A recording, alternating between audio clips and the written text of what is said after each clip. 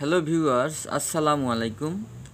আজ আমি একটি গুরুত্বপূর্ণ সংবাদ এবং গুরুত্বপূর্ণ তথ্য নিয়ে আলোচনা করার জন্য এসেছি। এই তথ্যটি হলো, মাদ্রাসা শিক্ষকদের উচ্চতর গ্রেড সংক্রান্ত এবং তারা কখন উচ্চতর গ্রেড পাবেন এই বিষয়ে কিছু বিস্তারিত আলোচনা করার জন্য আজকের এই ভিডিওটি তৈরি করেছি। ভিডিওটি শুরু থেকে শেষ পর্যন্ত দেখুন। এবং শিক্ষা এবং আইন বিষয়ক যে কোনো তথ্যের জন্য এই চ্যানেলটি সাবস্ক্রাইব করুন। সবার আগে তথ্য পাওয়ার জন্য নোটিফিকেশন বাটনটি ক্লিক করে রাখুন।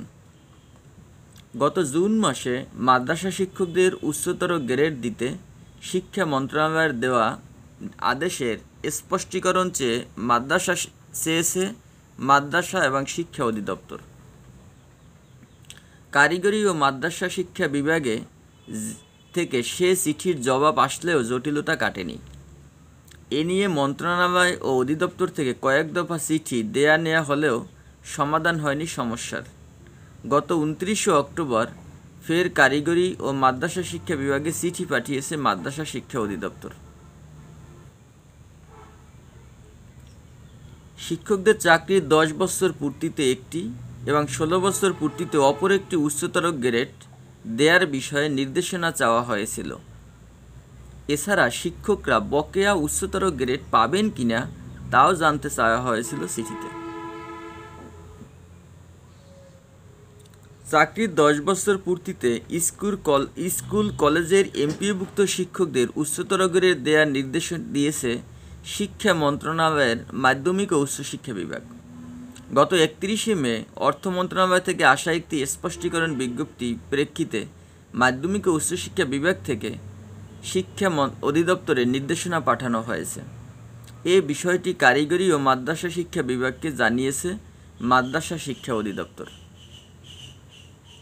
মাদ্রাসার জনবল কাঠামো ও এমপিও নীতিমালা দুই হাজার আঠারো জারির তারিখ, অর্থাৎ দুই হাজার আঠারো খ্রিস্টাব্দের উনিশে জুলাই থেকে স্বয়ংক্রিয়ভাবে কার্যকর হবে, এমনই কথা ছিল।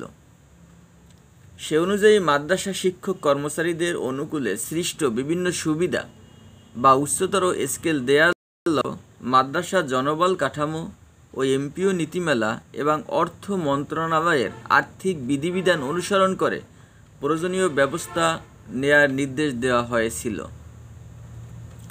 তবে শিক্ষকদের উচ্চতর গ্রেড কবে থেকে কার্যকর হবে সে বিষয়ে বলা হলেও, কোনো শিক্ষক বকেয়া উচ্চতর গ্রেড পাবেন কিনা সে বিষয়ে কিছু বলেনি মন্ত্রণালয়ে।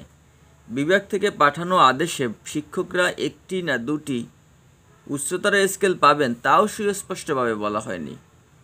গত বৃহস্পতিবার মন্ত্রণালয়ের কারিগরি ও মাদ্রাসা শিক্ষা বিভাগে পুনরায় চিঠি পাঠানো হয়েছে।